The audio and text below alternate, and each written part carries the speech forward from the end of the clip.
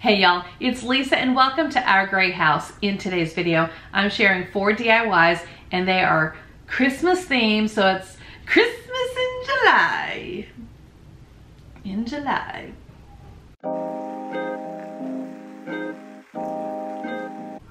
DIY number one. I had this piece of wood, I got it from the Dollar Tree, and I did paint it with Rust-Oleum's chalked ultra matte paint in the color linen white. And I had a piece of scrapbook paper, craft paper, whatever you want to call it, and I'm just trying to position it and make sure it's where I want it to be. And I'm adding a layer of Mod Podge on top. And yes, I left the tail end of it there because I'm going to sand it off in just a bit. And now I'm taking rub-on transfers. These are also from the Dollar Tree.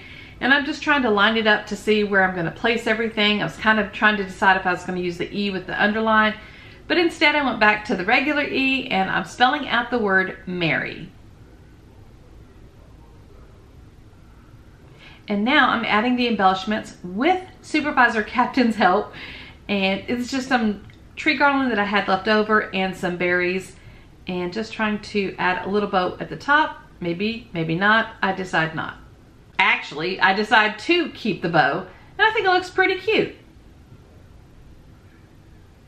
Today's video is part of a playlist and that will be linked in the description box below, but I wanted to give a shout out to our four hosts and they are Amanda from Six Kids and a Glue Gun, Missi from Crafty Cove, Tammy from The Rusted Willow, and Stephanie from Mama Can Make It. Thanks ladies for hosting such a fun playlist and I hope you guys check out all the videos in the playlist after you watch mine.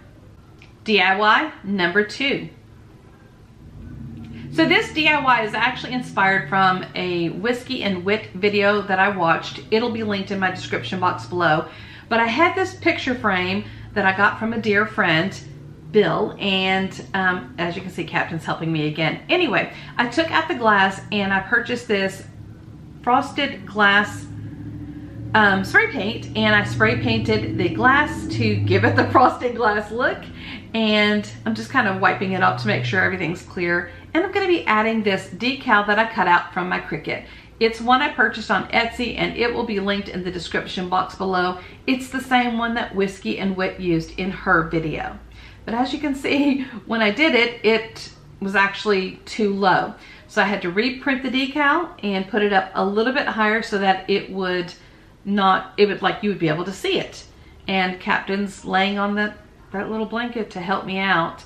I'm trying to be super careful because some of the pieces are really small because I did it on a little bit smaller scale than Whiskey and Whit did.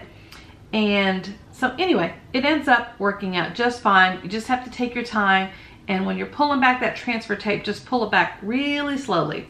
And now I'm adding the star at the top and making sure everything is wiped off. And I'm gonna glue it using E6000 glue to hold it inside of the frame. And this is how it turned out. I think it looks pretty darn cute. Now this is daytime, but let me show you how it looks at night. I just put a little tea light, one of those battery operated tea lights behind it, and y'all, it just looks so pretty and so sweet at night. DIY number three. So part of the challenge for today's video was to create two DIYs that were inspired from Christmas movies. And so I had this extra piece of scrap wood just in my garage and I printed out a decal that says, It's a Wonderful Life. And yes, that's the title of the movie. But um, I just, I thought it looked nice. I'd seen a sign like this before and that's how it turned out. And I think it looks pretty good. But y'all know me, I can't just stop with one side of the sign. I've got to flip it over and I did the reverse. So I did white on black on this side. And I think it looks cute too. DIY number four. Now this is a Frosty the Snowman inspired project and I got this pumpkin shaped wire wreath form from the Dollar Tree. I got the microfiber cloth from the Dollar Tree and I'm basically just gluing it to the outside and I'm using those little mini clips to kind of hold it together and I'm just gonna go all the way around gluing it to the frame. Now this wreath was inspired by a lady, I can't think of her name right now, but I'm gonna link her video in the description box below. Now that I've got that all glued down, I'm just gonna trim out the excess on the inside. And then I'm gonna make a nose. I have some orange felt and I'm gonna wrap orange chenille wire or pipe cleaners around it just to give it some extra texture and extra shape and then I'll glue it to the front of the snowman's face. I got these buttons from the Hobby Lobby and they were like 50% off or something and then I got two larger ones for the eyes, smaller ones for the mouth. Now, I got this hat from Dollar Tree. I'm going to cut it in half because I'm actually going to make another one. But um, you just going to need half the hat.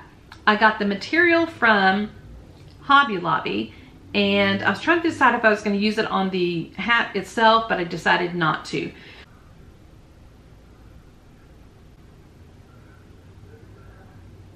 So you're going to cut a little hole in the corner of each of the uh, sides of the hat.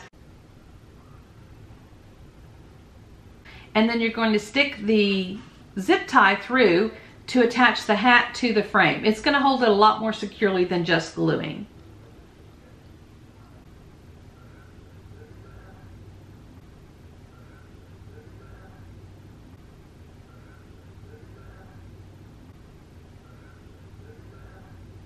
And then now I am taking a zip tie, putting it underneath the wire and wrapping it around the material so it drapes across and it's gonna make the little snowman's um, scarf. That's what you call that. You call that a scarf.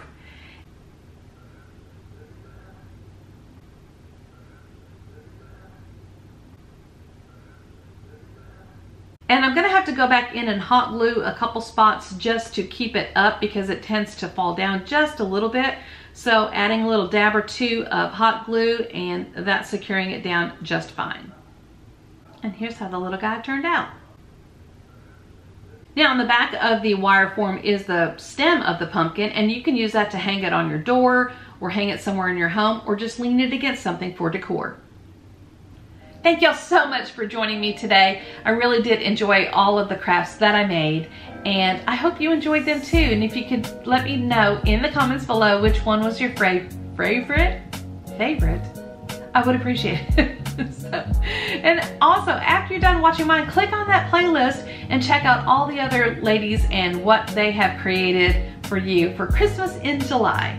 And don't forget, if you want to follow me here on YouTube or over on Instagram, it's Our Gray House, but just don't follow me in real life though, because that's creepy. Bye.